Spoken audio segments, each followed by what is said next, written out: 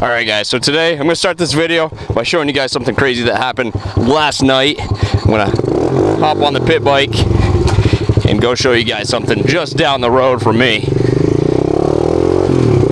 It was, uh, it was about 11 o'clock at night last night and uh, this guy, I'm about to go to bed, right? And I hear this banging on the door, like bang, bang, bang, bang, really loud. And uh, I go to the door. Of course, I get a pocket knife ready because you never know. But I go to the door and uh, I see this guy. He's got blood all over his head. He's like, "Hey, man, I just crashed my car right in the field, and uh, that's it right there. An old Saturn. He actually went from I don't know if you can see it. Hey, neighbor, but that telephone pole right over there. I'll show you guys. I'll go over there and show you exactly where he went down. But oh, my bike died. But yeah, he uh, came cruising around the corner. It's kind of a terrible corner, and uh, it was, the roads were wet. He slid around a bit, went right into the the pasture here, cleaned out part of the fence, did a couple rolls, and then uh, landed over here, which is nuts. Like that's a huge gap. But uh, luckily, he was all right. State troopers came over and uh, checked things out. Everything was good. He was all right. No uh, broken bones, nothing. Just all cut up everywhere. But uh, yeah, that was pretty exciting last night. I'll show you guys if I can get my bike started. I'll show you exactly what happened. There we go. All right, let's go. Let's hop down the field first and check out some more of the damage to his car. Hopefully this camera angle is good for you guys. I just barely got a new helmet, a new GoPro setup. It's on the front of my face. But uh, yeah, check it out. We'll go check out the, uh, oh, bike died again. Yeah, check that out. He's got glass all over the place and dirt. It dented the the the roof in pretty good. But yeah, you got grass all over the place. He he came tumbling through here. Let's go check out where he let some glass right there. There's glass all over the place. Well, that's what happened last night. And I ended up bringing him to his house. He lives about half an hour from me. So I brought him to his house late last night. But uh, pretty crazy. Crazy stuff. This isn't the first accident that's happened on this corner. We actually had a motorcyclist die many, many years ago on this corner, but I'll turn around real quick. So you can actually see where he started to go down. He missed his telephone pole right here. He kind of did a little squirrely action right here, went started to go down right here. And then I'm assuming he did a, a barrel roll And you can actually see all the dirt they spun up. Yeah, it looked like he was coming in sideways, flipped it, kept flipping it all the way to the end of the, the fence over there. Crazy stuff. That is like that is like record distance. That's really far. But yeah, luckily he was alright. It could have gone a lot worse. I'm surprised that little car handled it so well. But yeah, so I wanted to show you guys that real quick. Start the video off with something crazy like that. Because that was my night last night. I didn't get back to like 2.30 in the morning. But uh, yeah, so that's what happened. We'll get the video started right here, my friends. And we'll see what we can do today. I don't know what I'm doing. I might go pick up a snowmobile. I'm not sure, but let's get the video started. All right, here we go.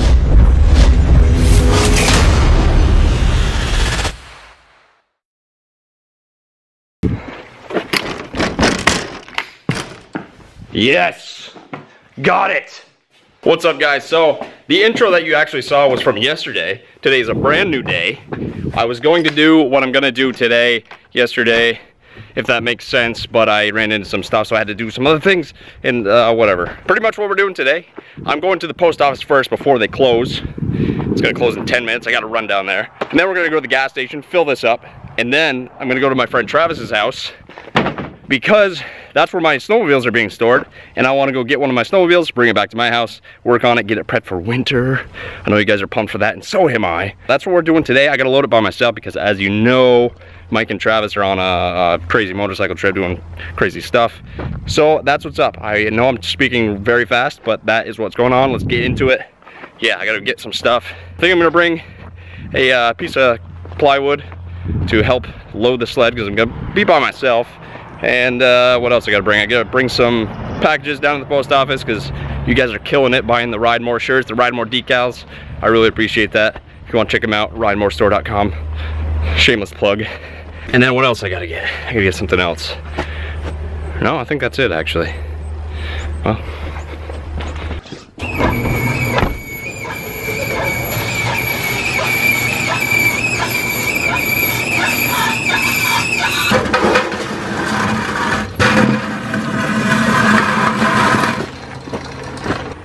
I almost forgot to bring my pit bike. The reason I'm bringing my pit bike, here's where it gets interesting. My four-wheel drive is out in my truck. The hill in front of Travis's house where I'm gonna load the snowmobile because it's a hill, it's a little bit easier to put the snowmobile in the truck. My four-wheel drive's out, it's a little bit slippery. I might get stuck, it's a little steep too as well, so I might get stuck. If I get stuck, I gotta have a way to get back home. So if that happens, which I hope it doesn't really, I got a way to get home. So that's what I'm doing. Whoa, whoa, whoa, whoa, whoa.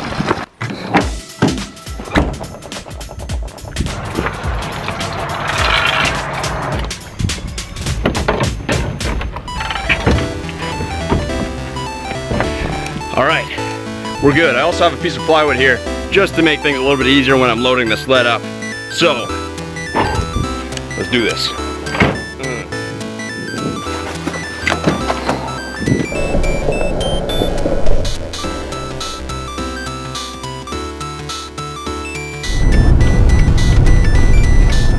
All right, first stop, post office.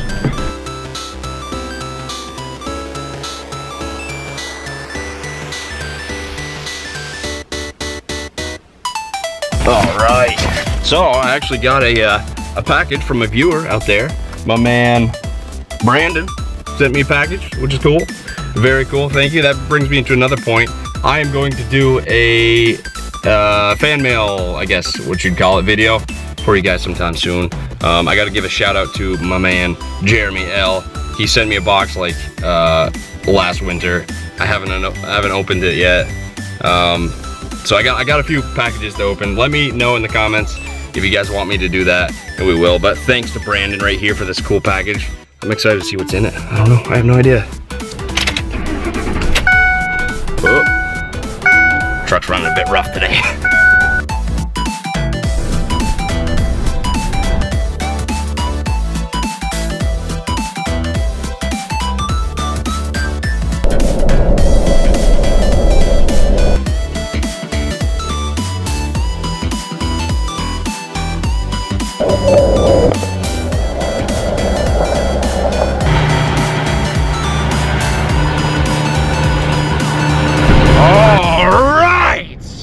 we got gas, we went to the post office. Now we're it's time to go to Travis's house and see what we can do with the snowmobiles. Uh, I'm thinking here's how this video is gonna go. I'm gonna reveal one of the new sleds to you guys.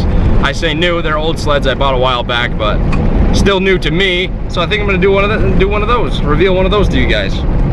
I'm thinking, I'm thinking on my way to Travis's house right now. I'm thinking. All right, pulling into Travis's house now. You can see the sleds all lined up over there. Yeah, you see his Jeeps over there. Let's go check it out. I'll shut my truck off. Boom. Uh, so here we are at Travis's residence. He's got his pit bike over there tucked away. He's got his two Jeeps, an old Phazer, and the sleds right there. Uh, I got my other sled right over there. Mike's sled, uh, my other sled. These are the three new ones right here and then Travis and Mike bought that one together and then I got that old one over there. Old Polaris Indy. A couple part sleds for Mike and Travis. Travis has his nice sled right there which he needs to rebuild the motor pretty much. So let's check out the hill first before we do anything. Oh check this out too. Check what Travis got right here. Boom! Another shameless plug.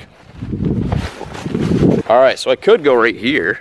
Actually that's kind of a good bank right there park my truck right here, just like that, and then I think I can get up that hill. It's no problem, it's not too wet. I don't know, I'm thinking this is a good spot right here. I'm thinking if I go do one of these things, park right here.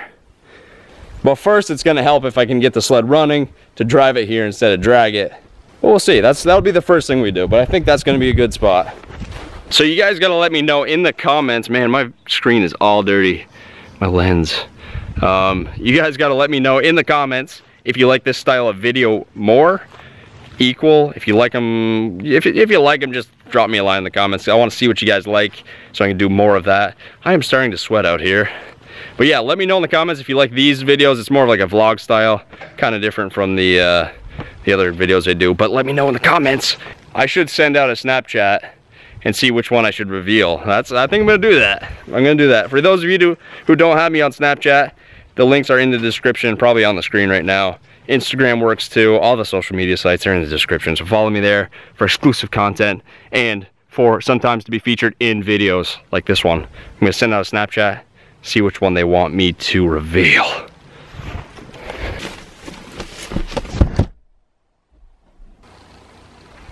All right, so I got the three sleds lined up in the picture right there. I don't know if you guys can see that. I'm gonna mark one, two, and three, and the first person to send me a snap with a number gets to decide which bike. I mean, which snowmobile. I don't even know what I'm saying anymore, but yeah, let's do this.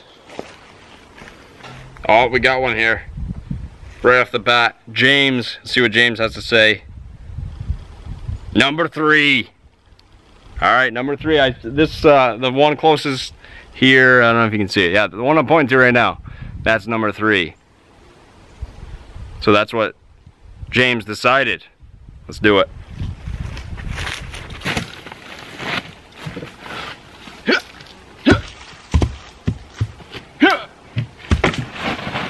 All right, guys, so here's how I want this to happen. I want to be able to pull it real quick, and it just, bam, shows right there, but I'm probably going to pull it, and it's going to snag, and then I'm going to have a tough time, but I'm going to do it right now, right in front of your eyes, right here. Here we go, here we go.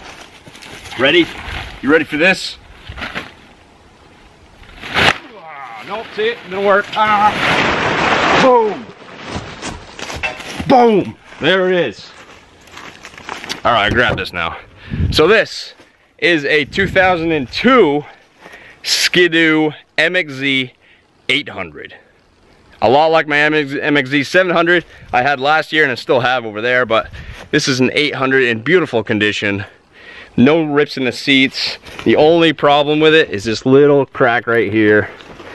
But look at that. Isn't she a beauty? If you look underneath, it's mint condition. See if we can get a shot for you guys. It looks so beautiful. The track is nice studded track. Woo! It's also a uh, Salt Lake edition. I don't know if that means anything to you guys. But yeah, this is it. Check it out. Bam. So we're gonna see if we can get this thing running. Like I said before, maybe I didn't say, I don't remember. I When I store my sleds, I take all the gas out because it's not good to have old gas in it. So technically I should be able to put new gas in it and it'll fire right up. But we'll see. We, we never know. It's been sitting for a little bit, but hey, let's get to it. There's the gasoline. Come on out. Ugh. My pit bike's still holding up back there, hanging on for dear life. All right, gasoline. Boom, boom, boom, boom.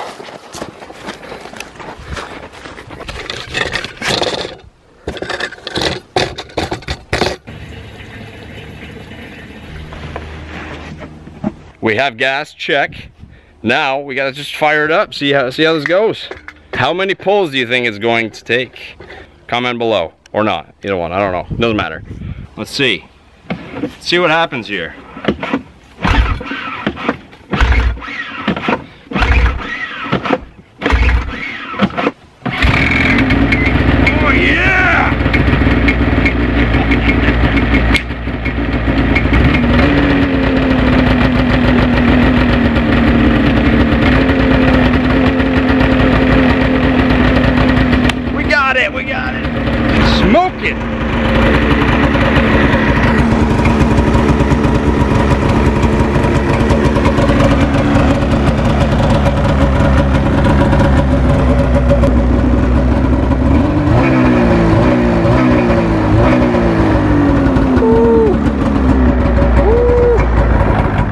So the Red Devil is going, running top notch, ready for winter, pretty much. I'm probably gonna clean the carbs on it, but it's going good. So I'm gonna move this thing, and then I'm gonna try and do that little little kitty corner thing up into that bank.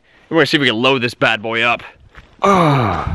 You guys let me know if you, you like my purchase. Do you guys like these old MXZ?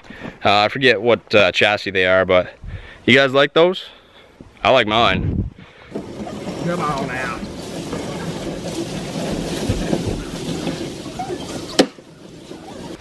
That's a quality machine right there. I actually really do like these old Phazers. this one just happens to be extremely beat up, but I love it.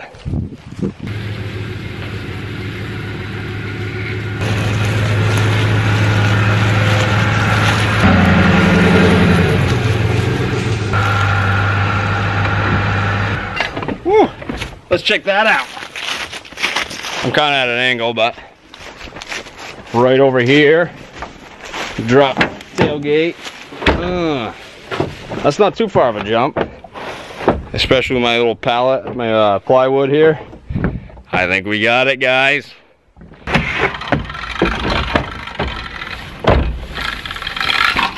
Look at that. That is so nice. I got it resting on the lip of the truck. Drive right into here. I think that's gonna work. That is not steep at all. So far, so good. All right, we recording? Yeah. All right, so I got my uh, helmet on with my GoPro. And I got the camera over here. I'm gonna start this up. I'm gonna take a little mini rip and I'm gonna park it right over there and just drive it right into my truck. Boom. Hopefully it doesn't end up like one of those funny videos you see where a guy like tumbles over the, the front of the truck and whatnot. All right, wow. Feels weird to be getting on a sled. I'm excited. Boom. Just like that. I love hearing that sound. I can't tell you how pumped I am for this winter. It's gonna be good. We're gonna have some crazy videos this winter. Look at this thing. You guys gotta tell me if you like my purchase. I like these sleds. As you guys know, last year I got my 700 MXZ over there. There's just a year difference between the two, but I like them. All right, guys, let's do this. Yeah. nice. Oh, it's got some power. It's got some power. Ugh. I'm sure Travis won't mind me riding on his lawn a little bit. All right, bring it right over here. Just like that. And I'll swing it around and bam, right inside. I gotta tell you, these things are all there, man. These things are heavy, especially the 800. Okay, yeah, just like that. Hopefully my plywood's wide enough. If not, then I can just lift it, but I like things easy. Okay.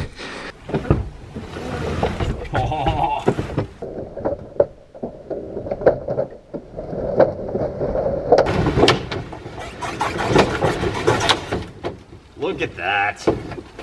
Beautiful. Whoop.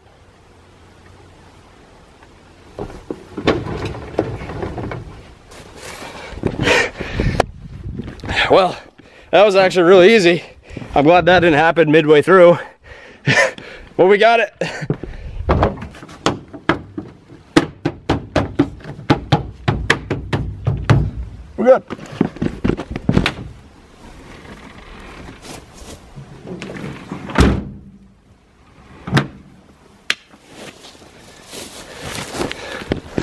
Whammo.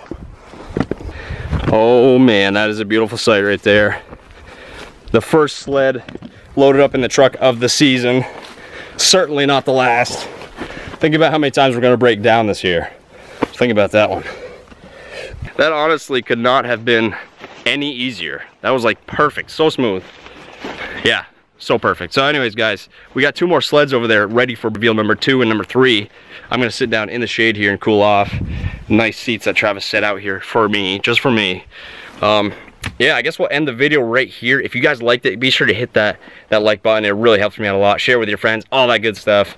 Um, we'll say if we get 300, 300 likes on this video, I'll do a working on the MXZ video for you guys. So there's that. Um, go ahead and comment down below if uh, or what you guys are uh, riding this year. That's what I want to know. What you guys are riding. If you like my purchase, all that good stuff. So yeah, I'm running out of breath. I don't know what else to say. If you guys want to visit my website, I pay good money every month for that website. So ridemorestore.com, ridemorestore.com, and uh, check it out. I got some t-shirts, I got some decals. Um, some other goodies. So yeah, again guys, thanks for watching. I'm gonna say goodbye right here, and we will see you next time on the videos. Here we go, kaboom! Kaboom.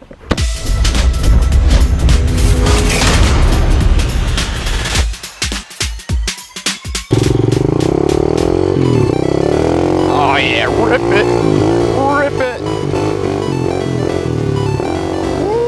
I feel like my pit bike's running like exceptionally well today for some reason. You guys ever get those days where you hop on your bike and it's like, it's a whole nother animal?